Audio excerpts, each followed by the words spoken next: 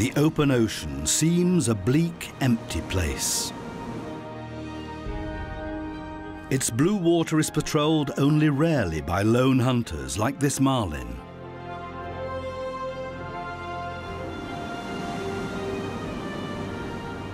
But in places, barren rocks break the surface, the peaks of massive underwater mountains rising abruptly from the seabed. At first glance, they also seem lifeless and deserted. But beneath the surface, steep slopes teem with countless species of marine animals. Anyone diving here descends into a virtually unexplored mountain world, an oasis in the midst of a watery wasteland. An El Dorado for biologists. And a final refuge for many of the large marine species that long ago disappeared elsewhere, victims of overfishing and pollution. But what is the magical attraction for these animals?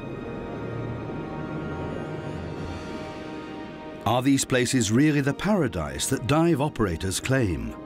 To find out, scientists from all over the world descend to the depths of the sea mounts.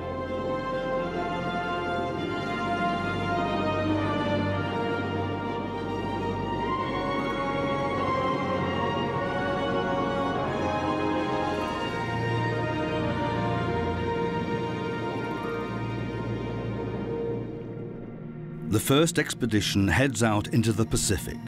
Around 350 kilometers off the coast of Mexico, a long extinct volcano rises 30 meters out of the water.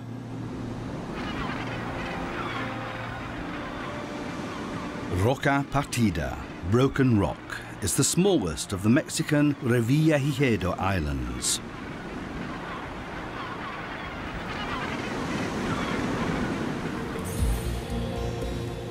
To reach it, the international team of scientists spend more than 24 hours traveling on the expedition ship Solmar 5.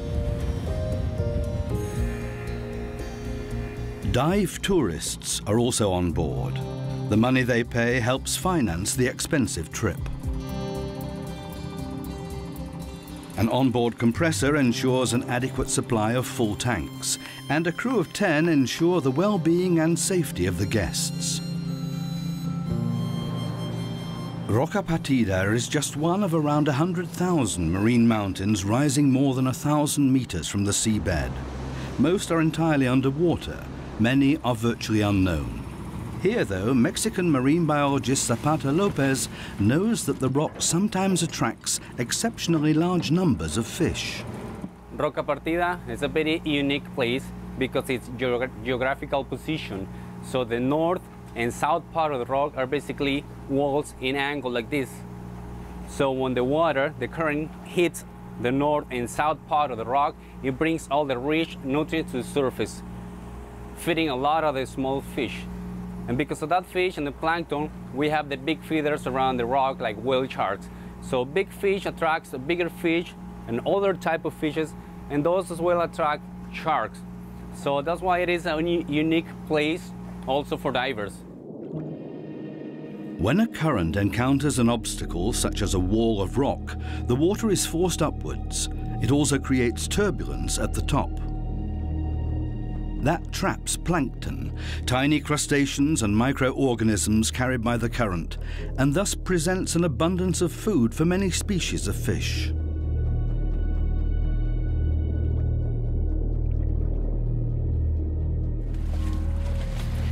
The sea around Roca Partida is far too restless for the Solmar to moor there, so the inflatable is launched to ferry the colourful mix of divers to the rock.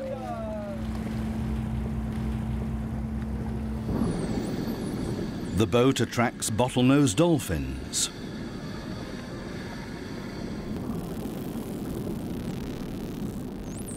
Hard to say who is more intrigued, divers or dolphins. The swollen part of a dolphin's head, its melon, is used to send ultrasonic pulses that enable it, like a bat, to detect prey by echolocation. The sheer walls of Roca Partida descend nearly 100 meters. The volcano itself rises from a depth of 2,000 meters. At shallower depths especially, biodiversity exceeds all expectations.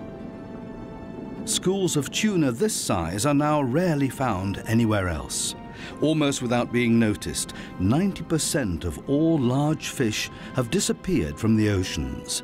Ten years ago, that was also the case here. Today, schools of snapper are so dense that they hide the rock behind them. Rock that offers not only food but also refuge. Hiding places are few and far between in the open ocean.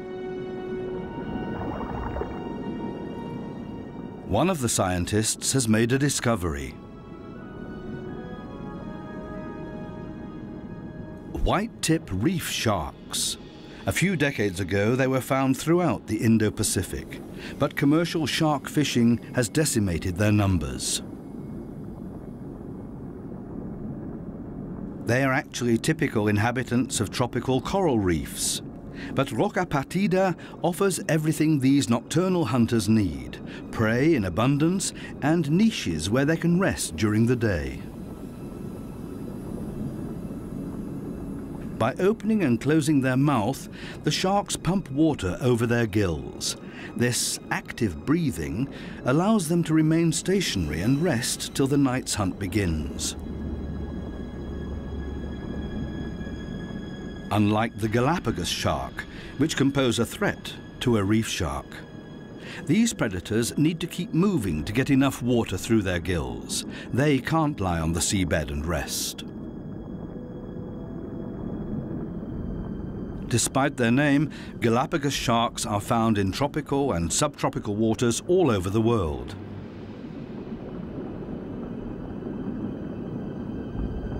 Eyeball to eyeball with a Galapagos shark, a potentially dangerous encounter for a diver. The three-meter-long hunters have an aggressive reputation. There are many recorded cases of attacks.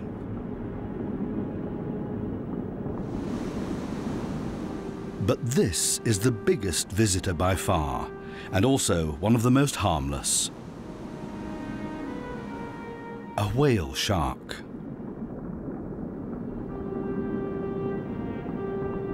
The biggest fish in the world feeds by filtering tiny plankton out of the water and presents no danger for divers.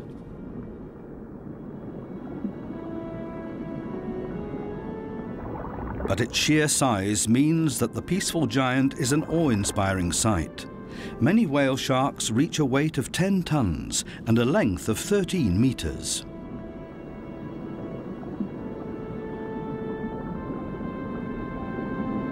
Oceanic oases like Roca Partida are important resting places for these long-range migrants. In 1994, the entire group of islands became a protected zone and has since then been more rigorously policed with noticeable results. The scientists are pleased with their stocktake. On board a surprise, the humpback whales have arrived. They are regular visitors to the volcanic islands between March and May, so dependable that they're incorporated in dive safari programs. These are mothers and calves stopping off on their annual migration north. A good place to listen to whales.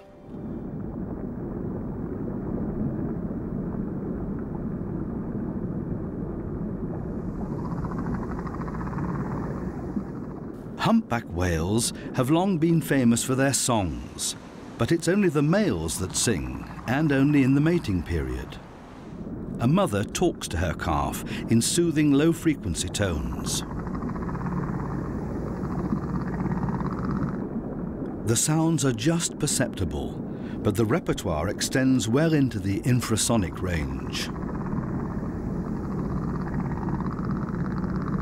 A calf will stay with its mother for up to a year and follow her for thousands of kilometers from its birthplace near the equator to the food-rich Arctic Ocean, where the animals spend the summer.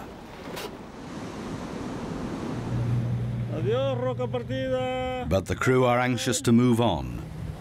They've promised a spectacle that will trump everything that's been seen so far. The Solmar 5 sets course for San Benedicto.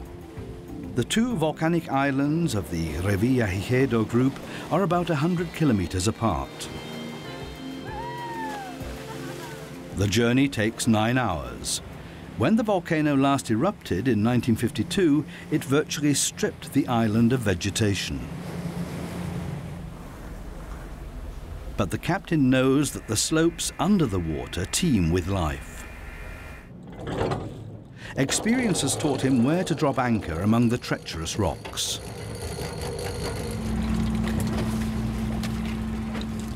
But before the team set off to dive, one of the biologists spots something on the water.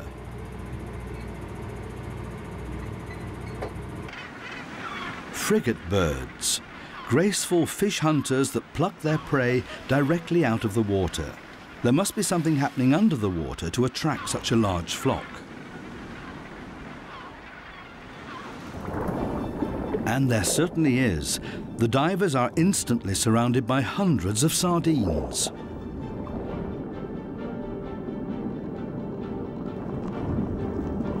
They can hardly keep the agitated fish at arm's length.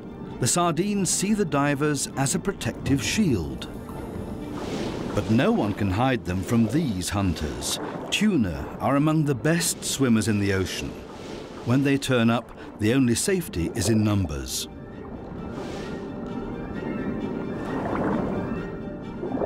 The swarm is a collection of egoists, each one trying to save its own skin. And at times the tuna can't see the fish for the school.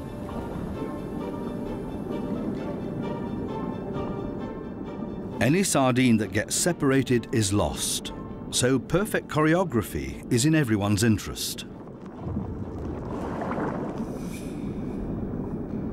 But swarms have one drawback.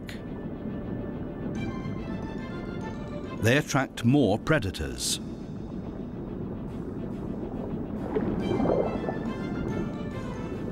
A whole school of sailfish masters of the ocean and the world's fastest swimmers. Record breakers reaching speeds up to 110 kilometers an hour.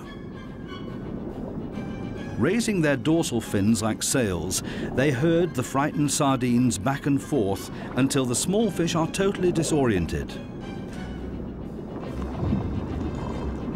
Then they move like lightning, slashing at victims in the school with their sword, their elongated snout.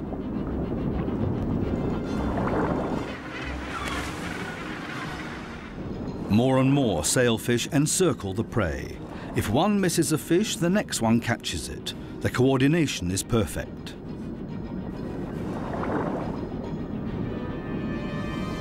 Few people have seen sailfish at such close quarters. Even fewer have been able to film them. The scientists return to the surface with reluctance.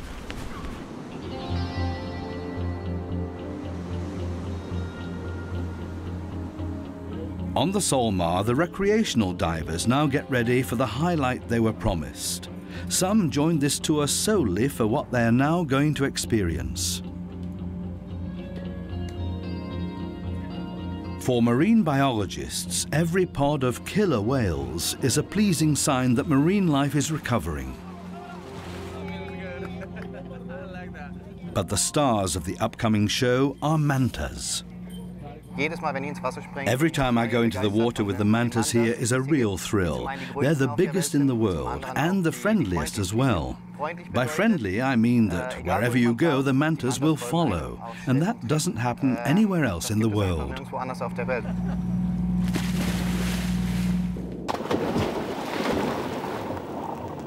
No sooner are the divers in the water than the first of the gentle giants swoops over them.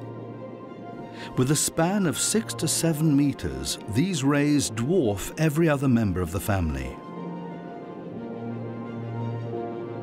To avoid injury to their skin, they should not be touched. Easier said than done, the mantas themselves seem to seek close contact.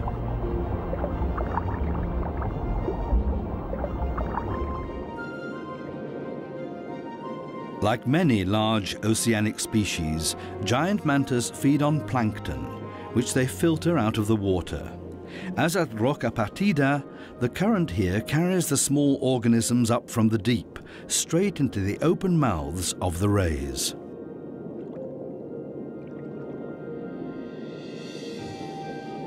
But what mainly attracts the mantas to San Benedicto are these clarion angelfish. Normally they graze the algae on the rocks, but as soon as a giant manta approaches, they flock to it as one.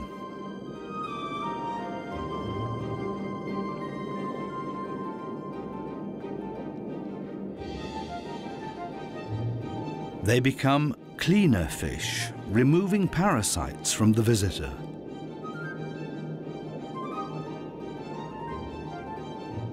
Even if they sometimes nip, the symbiotic relationship clearly benefits both sides. The manta gets rid of its tormentors, and the angelfish get a good meal.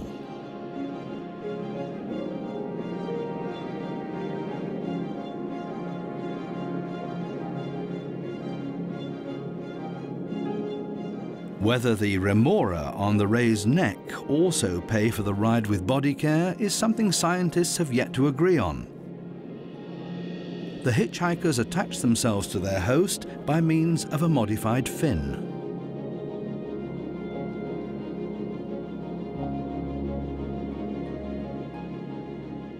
The biologists can recognize many mantas by their underside markings. More than a hundred have already been catalogued here. What age mantas reach, where they migrate to, how many of them there are. These are all questions that the researchers hope to answer in time. San Benedicto is an ideal place for that.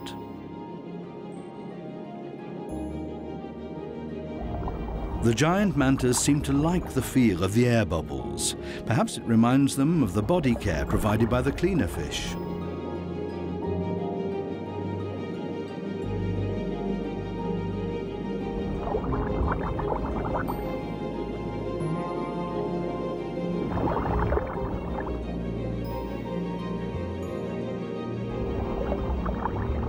What makes the flying giant so friendly towards divers at San Benedicto is likely to remain a mystery forever.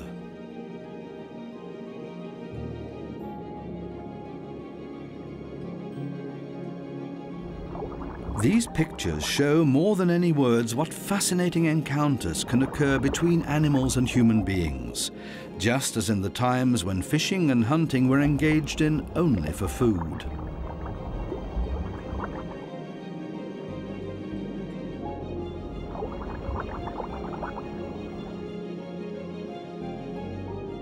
The scientists have seen for themselves that the Mexican government's strict protection and policing of Revillagigedo have had the desired result.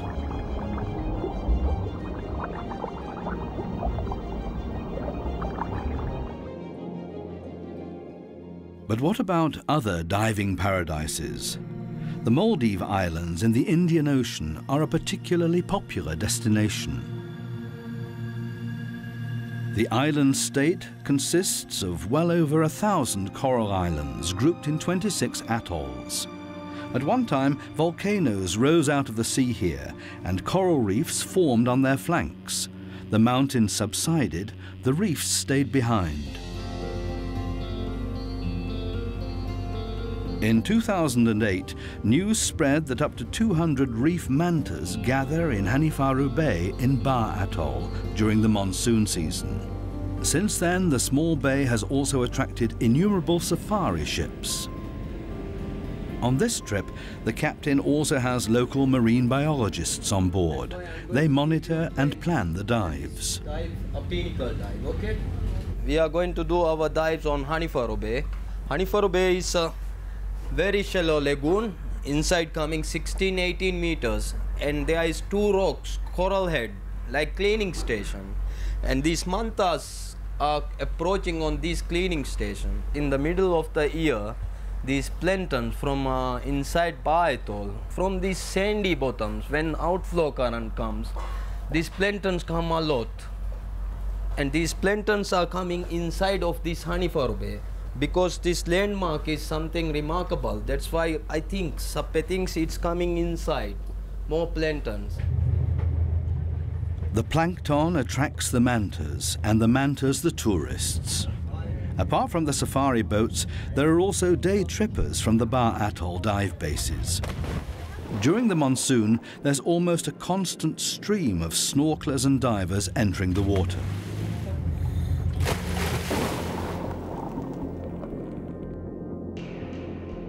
Reaching around four meters in width, reef mantas are smaller than their oceanic relatives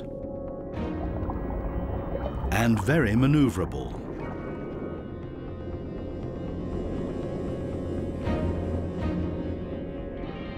The ray deftly eludes the many divers.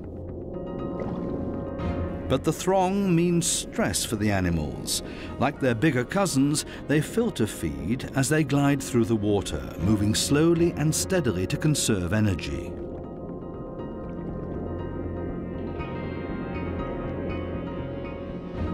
But here they are constantly confronted with obstacles, which takes a toll.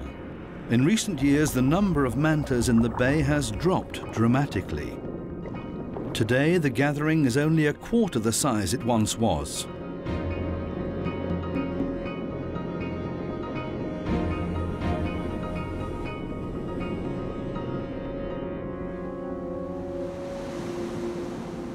The rays that come here roam the world's oceans. How they know when Hanifaru becomes ripe for a feast is a mystery. A plankton bloom occurs when the tidal wave caused by the moon in late summer collides with the southwest monsoon current.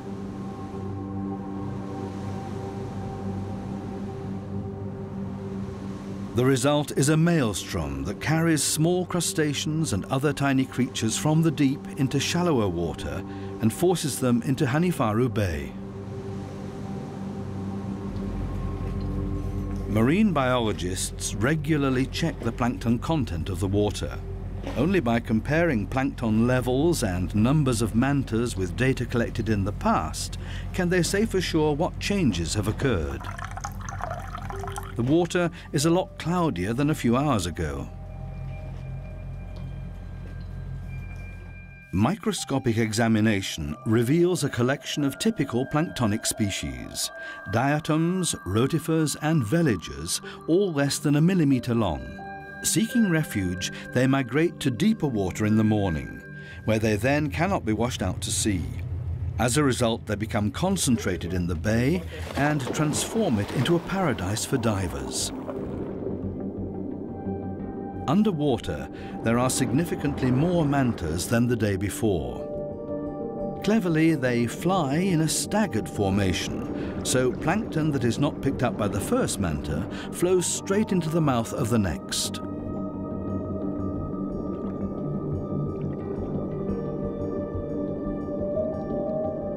The bay is barely the size of a soccer pitch, but the 50 or so mantas share it with a whale shark. He lives in all tropical and subtropical oceans and is also drawn here by the plankton.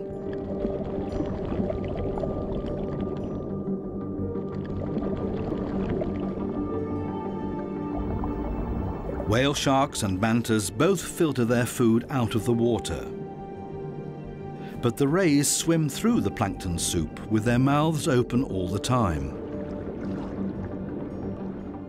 The giant shark opens and closes its mouth and thus actively sucks in water and forces it over its gills at a rate of up to 6,000 litres an hour.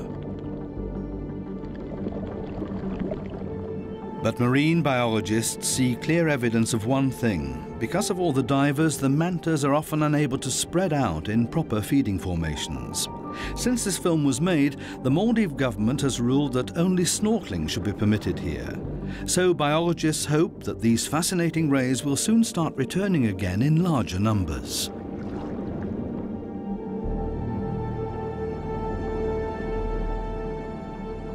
Oceanic oases like Ba Atoll are relatively small, but there are underwater mountain ranges of much greater dimensions. When tectonic plates move, they can push up entire mountain massifs. What's more, the Earth's crust often cracks due to the friction. Magma escapes, cools, and grows along the seams. Long chains of underwater volcanoes have been created in this way. One such chain, 300 kilometers long, is in the Pacific off the coast of Colombia. Only one peak breaks the surface, Malpelo Island.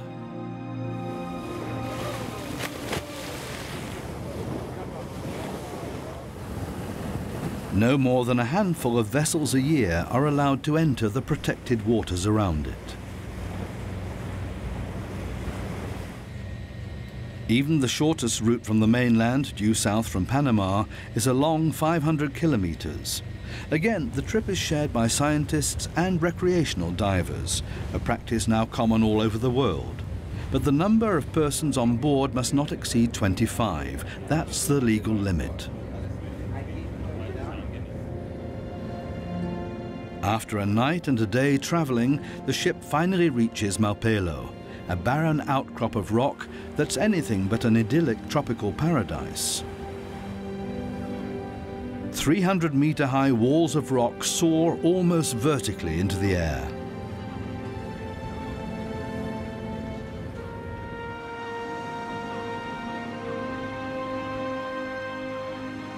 There are no protected anchorages, and the currents are strong. Dives need to be carefully planned and monitored. Conditions can change dramatically at any time.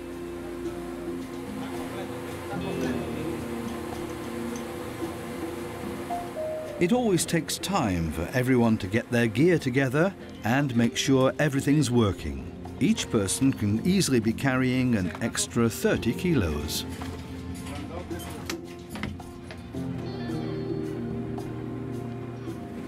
Only the scientists are allowed to accompany the guide on the first exploratory dive.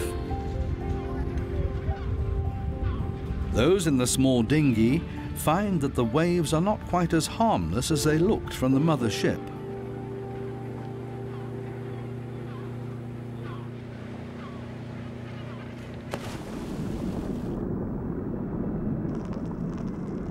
Underwater, it's immediately clear why Malpelo has been declared a UNESCO World Heritage Site. Thousands of snappers. The divers have never seen schools this big. Like most fish, they tend to stay at fairly shallow depths. The island is exposed to eight different currents depending on the season. The Humboldt Current, for example, brings cool, oxygen-rich water from the Antarctic. The dive team wants to check the shark population. Worldwide, 100,000 sharks a year are hunted or die as bycatch in fishing nets. More than 100 species are already considered endangered. Cracking and rubbing a plastic bottle, a time-honored way to attract sharks, the sounds resemble those made by a shark feeding. A Galapagos shark. Fortunately, it realizes in time that the guide is not in its prey spectrum.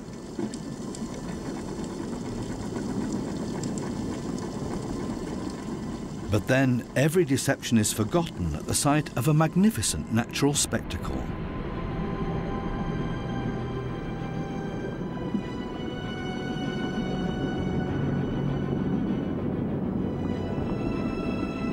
The divers are suddenly surrounded by hundreds of bizarre, fabulous creatures, scalloped hammerheads. It's only recently that scientists discovered what brings these long-range migrants to these waters. They take their bearings from underwater mountains, which cause changes in the Earth's magnetic field that the hammerheads can use for guidance.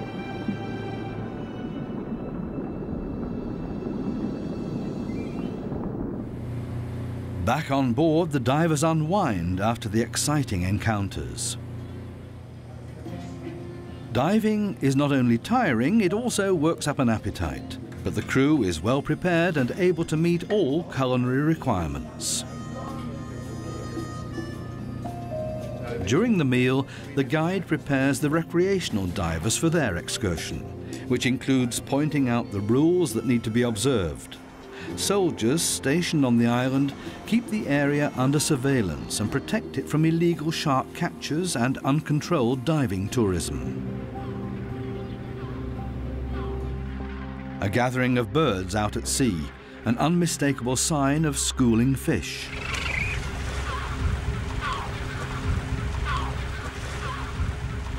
To protect themselves from bird attack, the jacks form what divers call a bait ball, which invariably attracts other predators.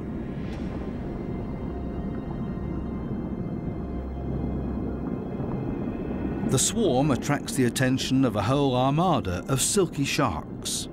These hunters locate their prey with the help of a special system of sense organs on the side of their body, a system that responds to the swimming movements of nearby fish. The frightened jacks seem to dart in all directions, but researchers have now found that some swarm members are always faster than the rest and thus influence the swarm more than others. But the sharks have a counter strategy and even cooperate with tuna. Working together like sheepdogs, they herd the panicking fish into a denser ball. Then they plunge into the swarm and separate their prey.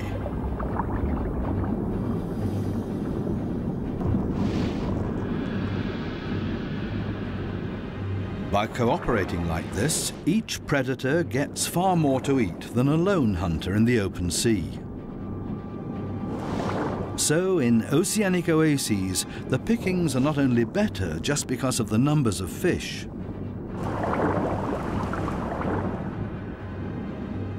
As mass rendezvous points, they also offer far more valuable opportunities for cooperating with others.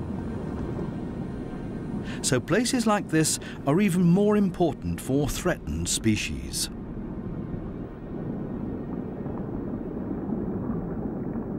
The next oceanic oasis is almost unknown and far more dangerous than many others. It's more than 500 kilometers off the Pacific coast of Costa Rica, not far from the tip of the volcano that forms Cocos Island. Cocos is the island that inspired Robert Louis Stevenson's classic novel Treasure Island. Because according to legend, there's pirate gold here, waiting to be discovered. To keep the island safe from treasure hunters, it's been protected for more than 30 years. But its real treasure is well hidden away, deep underwater. All the other volcanoes of the thousand kilometer long Cocos Ridge are well below the surface. To explore them, the expedition ship has a modern submersible on board. It's piloted by Shmulik Blum from Israel all my life as a scuba diver, I always wanted to know what's behind the corner and what, what's down there. So I did trimix diving and I went down to 100 meter and I tried to see what's there. And when I got there, I wanted to see what's down there. So this machine takes me there to see what's there. And everything that we see in deeper water, deeper than, than 50 meter, is uh, mostly new for us. The seven-ton DeepSee requires a crane to lift it into the water. The practice hands of a whole team of specialists get the submarine ready for its mission.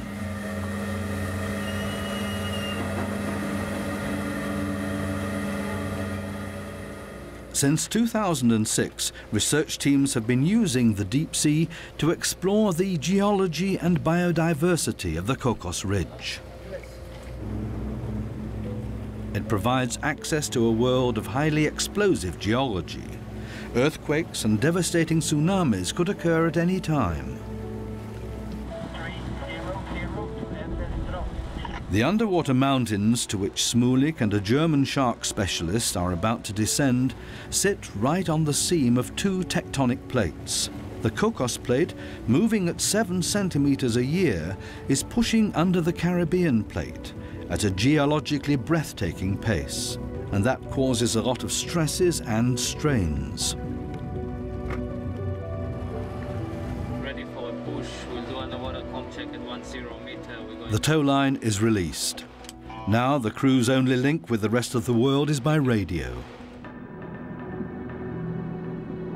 Descending at a speed of 10 meters a minute, the DeepSee dives into the seemingly endless depths of the ocean. The submersible is just one and a half meters in diameter. Its air supply lasts no longer than six hours.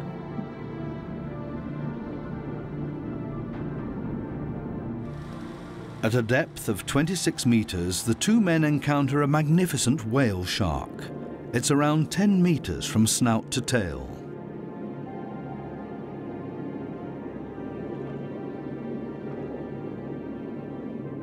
What the giant knows by instinct is that currents here carry copious amounts of deep sea plankton up to the daylight zones where he lives.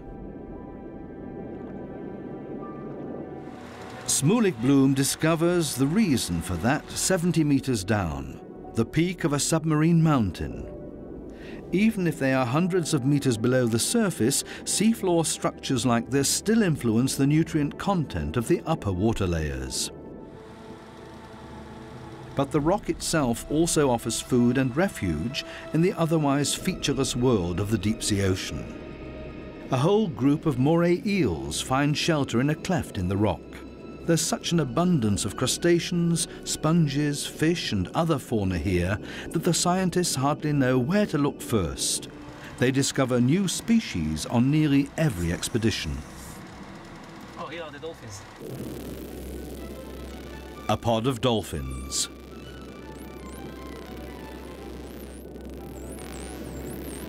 What attracts these graceful sea mammals here becomes clear a few meters farther down. Enormous schools of fish. Because of its vast size, the chain of volcanoes also impacts massively on marine life. Tons of fish. Despite the fascinating spectacle, the biologist wants to go deeper. The main purpose of this dive is to find a rare deep sea shark that has virtually never been observed for any length of time.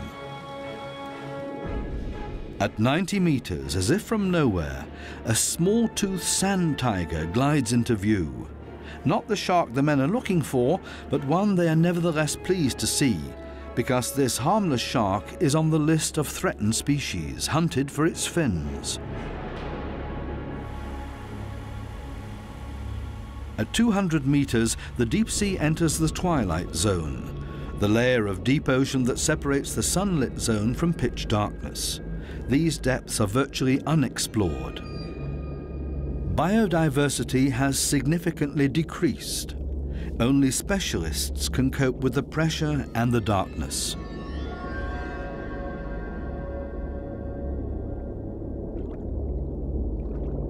At 240 meters, a rare jellynose fish is caught in the beam of the lights.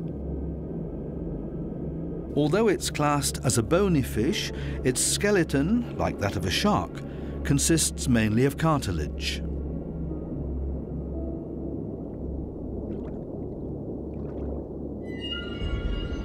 The farther the DeepSee descends, the more bizarre the life forms.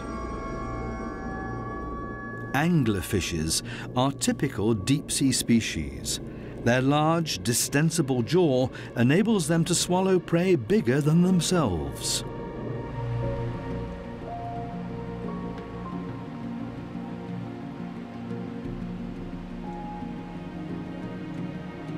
Like nocturnal birds, two mobula fly past, close relatives of manta rays.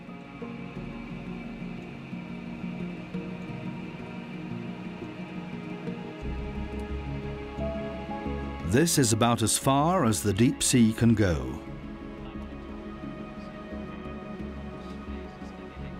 But just as the men are about to turn back, they spot him. A prickly shark, the deep sea recluse that this expedition was all about.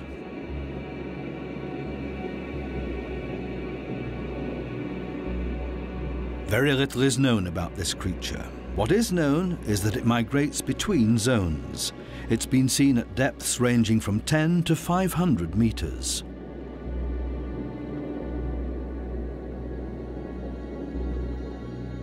As if to prove that, the four meter long shark dives deeper into the inaccessible darkness. It will take many more expeditions to find out more about this mysterious hunter.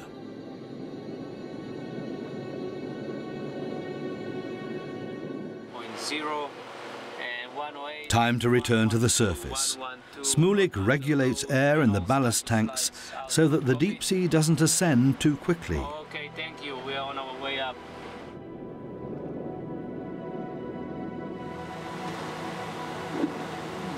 After hours of deep darkness, dusk seems dazzlingly bright. But as always in the tropics, it doesn't last long.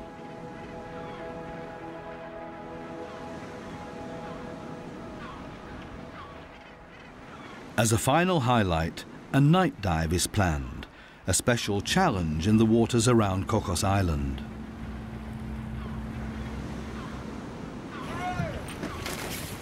In the plankton-rich water, the beam of a dive light penetrates only a few meters, and the divers need to be ever alert for dangerous encounters, because after sunset, the reef becomes the stage for a very special spectacle.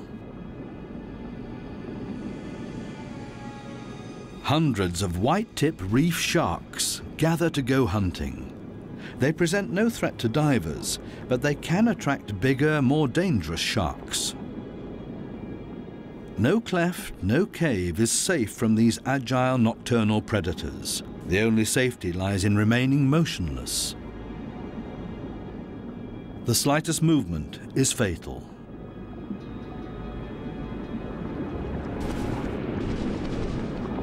The noise of a strike immediately draws other sharks.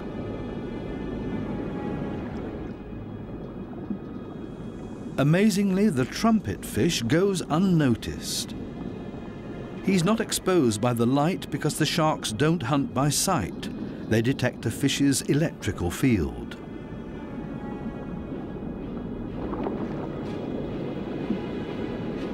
A big eye is not so lucky.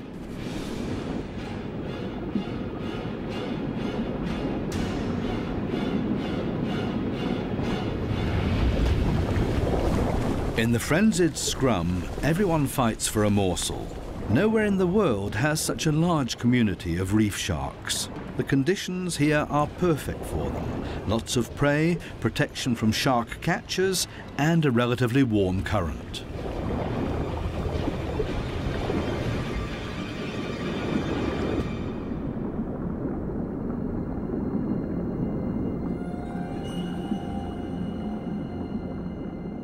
As soon as the first rays of sunlight penetrate the water, the tired night hunters withdraw and diurnal fish dominate the scene.